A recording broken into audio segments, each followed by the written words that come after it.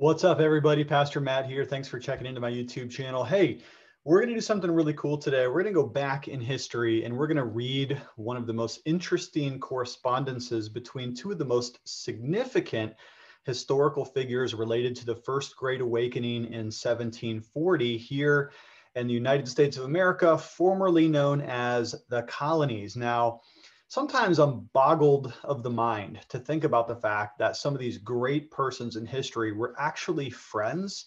They corresponded, they knew each other. Imagine uh, a time and a place where such great people all lived on the planet at the same time, like the Wesleys, uh, like Jonathan Edwards, and like George Whitefield.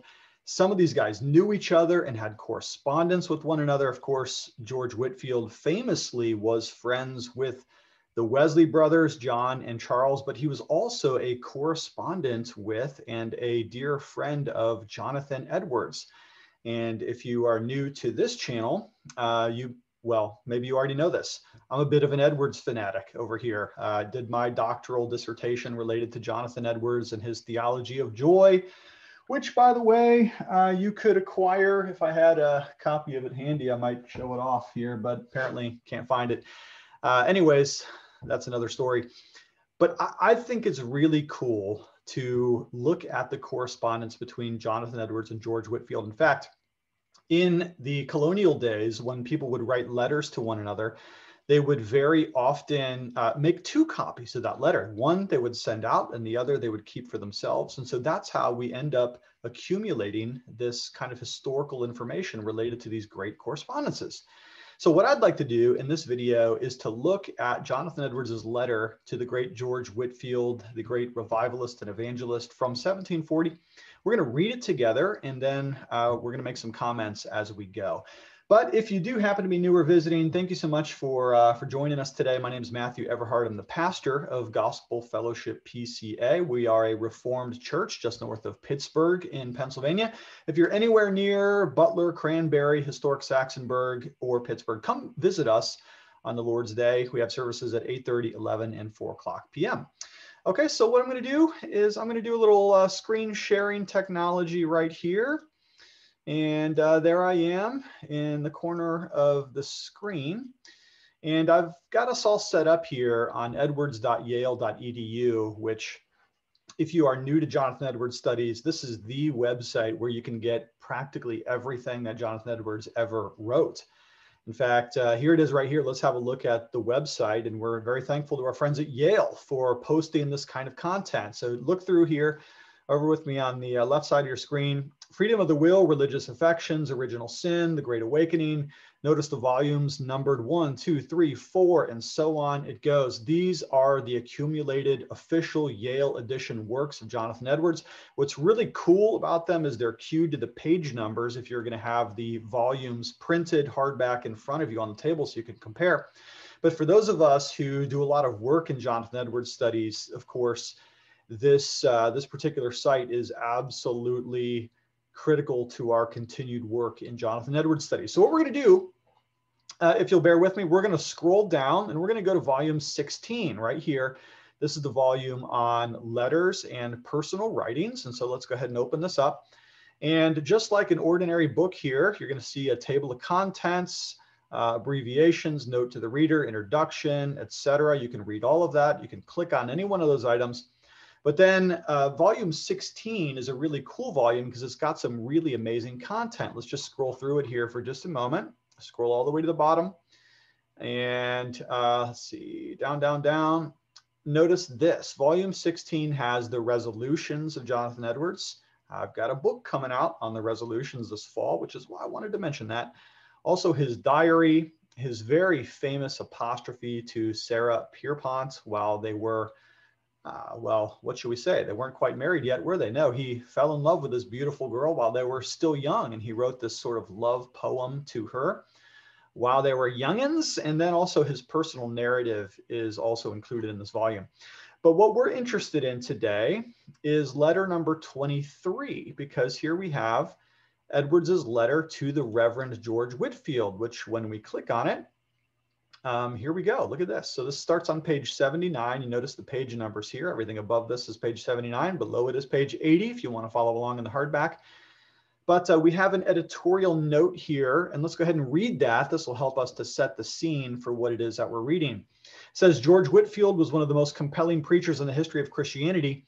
Over a span of 32 years, beginning in 1738, his oratorical skills and fervent spirit rekindled the fires of revival from Georgia to Maine.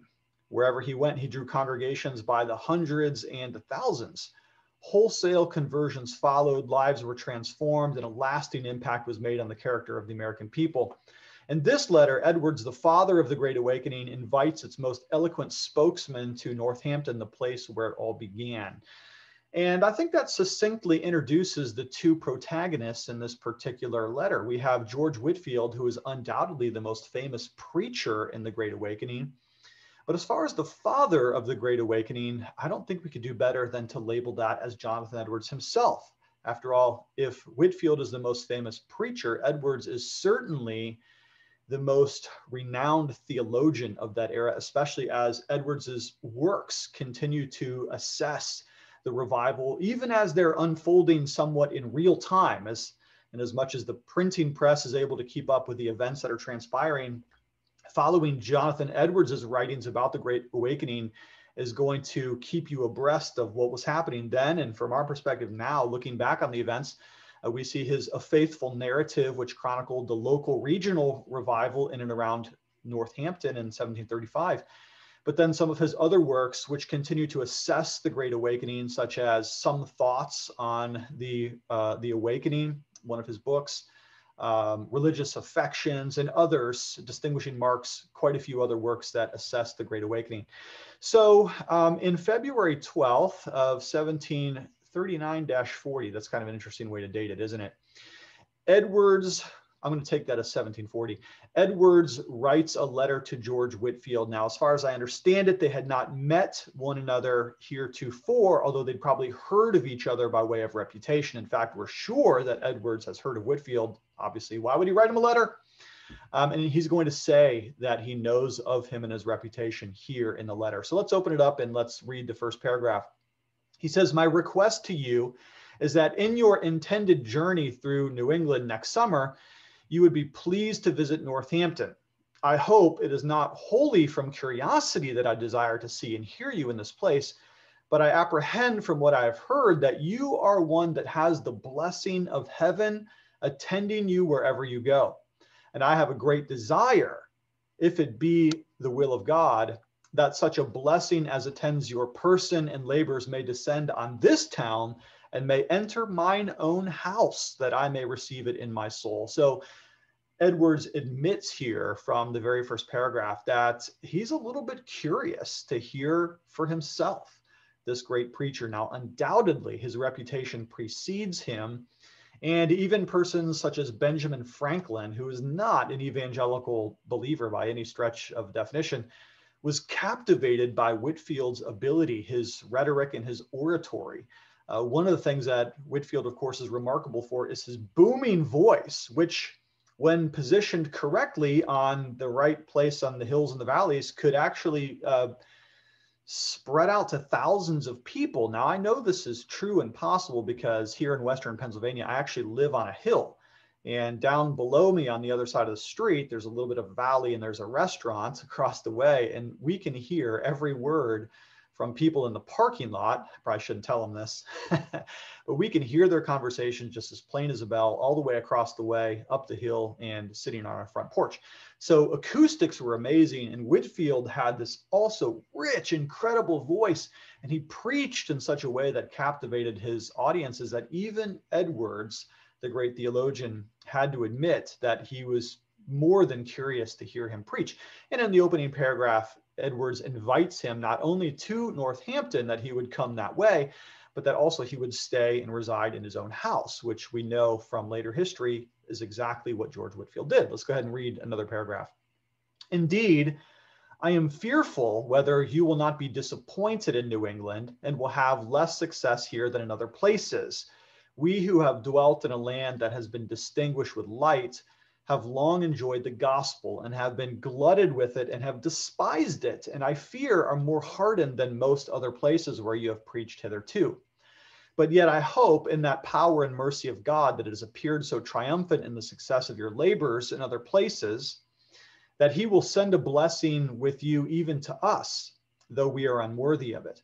I hope, if God preserves my life, to see something of that salvation of God in New England, which has now begun in a benighted, wicked, and a miserable world and age in which most, in which the most guilty of all nations. Now, you may think it's strange that Edwards sets the bar of expectation low for Northampton, and that's only because Edwards knows his own congregation fairly well. In fact, he admits in that paragraph that Northampton has more than its fair share of opportunities for revival.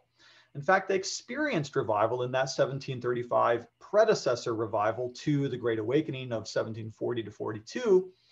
And Edwards is undoubtedly here also referring not only to his own ministry and how the revival has already burned once through Northampton, but he's probably also making reference here to his great grandfather, Solomon Stoddard, who was one of the great renowned preachers of the previous age. They had had Stoddard for several decades worth of preaching ministry. And even under Stoddard's care, the Northampton Church had experienced a number of local or regional revivals. And so Edwards is hoping here, he's trying to set the bar low for Whitefield, but he basically doesn't want Whitefield to be disappointed if he doesn't yield the same kind of results that Whitefield is reported to have yielded in previous places. Let's go on. It has been with refreshment of soul that I've heard of one raised up in the Church of England to revise the mysteri- the mysteries, mysterious spiritual, despised, and exploded doctrines of the gospel, and full of a spirit of zeal for the promotion of real and vital piety, whose labors have been attended with such great success. Blessed be the God that hath done it, who is with you and helps you and makes the weapons of your warfare mighty. We see that God is faithful and never will forget the promises that he has made to his church and that he will not suffer the smoking flax to be quenched. There he quotes Isaiah, even when the floods seem to be overwhelming it, but will revive the flame again even in the darkest times. I hope this is the dawning of a day of God's mighty power and glorious grace to the world of mankind. May you go on, Reverend Sir.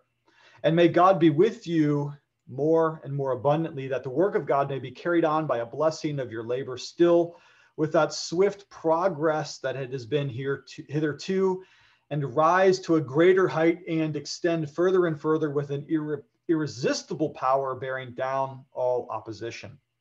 Now, this is kind of interesting that Edwards mentions the Church of England. You can see that I have that highlighted here because most of the Puritans, um, and especially the colonial Puritans, were not big fans of their Anglican colleagues. In fact, uh, many of the Puritans viewed the Church of England as rather staid and somewhat spiritually dead.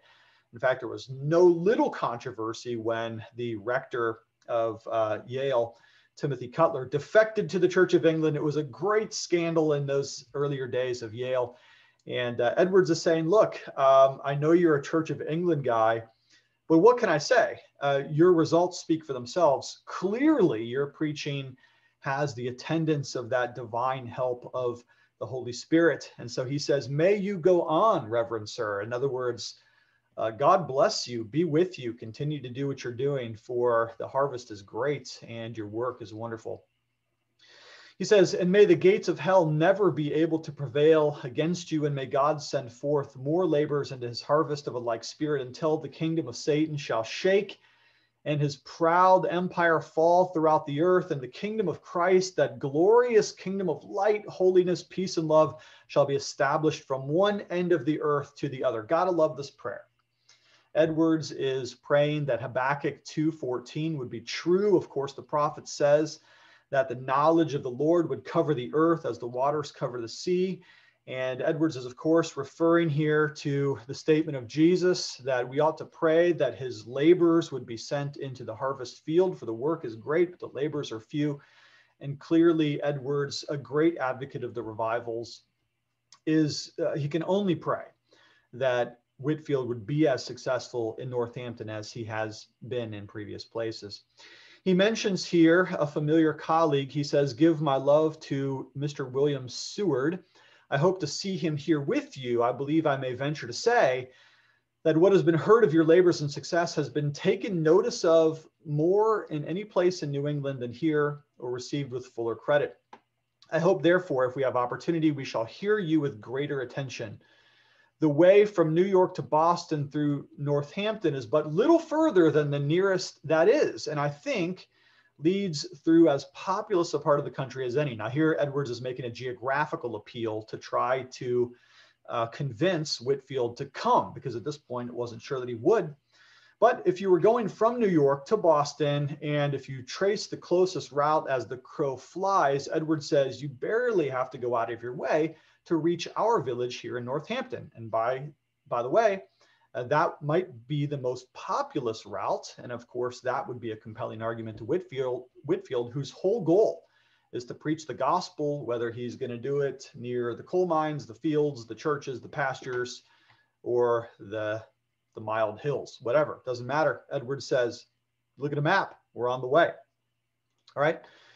Um, he says, I desire that you and Mr. Seward would come directly into my house I shall account it a great favor and smile of providence to have opportunity to entertain such guests under my roof and to have some acquaintance with such persons. In fact, that's exactly what happened. And Whitefield, curiously enough, was so enchanted with the Edwards home when he did come that he decided that he might like to get married too, because at this point, Whitfield, Whitefield was not yet married and he saw the delightful marriage between Jonathan and Sarah and their quaint and charming home with their children. He was much blessed by staying under the roof of Edwards and longed for a wife from that point on. And the letter finishes up here. I fear that it is too much for me to desire a particular remembrance in your prayers when I consider how many thousands no doubtless desire it, who can't all be particularly mentioned, and I am far from thinking myself worthy to be distinguished. But pray, sir, let your heart be lifted up to God for me among others, that God would bestow much of that blessed spirit on me that he has bestowed on you, and to make me also an instrument of his glory. I am, Reverend Sir, unworthy to be called your fellow laborer, Jonathan Edwards. And so here in the closing paragraph, Edwards pleads with Whitefield to remember him in his prayers, although he admits, uh, quite humbly and meekly, I might add, that Whitefield's prayer list is probably so long that he wouldn't even think to mention a person as unworthy as Jonathan Edwards. Uh, but he does nevertheless ask that Whitefield would remember, if not him, men like him who are the local church pastors of that time. Now, one final note here is I do love the closings of Jonathan Edwards' letters, and you can notice that as you work through volume 16, how sweet and endearing the closing of his letters are especially when he writes to his wife when one or both of them is on a journey or his precious daughters or his children. Uh, very often he'll say something very tender and sweet in his sign off. And then he signs his name, of course, uh, Jonathan Edwards at the end.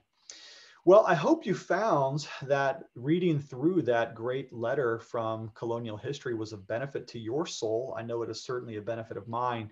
One of the things that I will take away from this letter is this paragraph right here, where Edwards mentions how vital it is that we have gospel preaching ministers in the churches and how he prays that our preaching would be, as he says here, with the weapons of a mighty warfare. Thank you so much for watching this video. Um, definitely appreciate you checking in here. Love you lots, and we will talk to you later.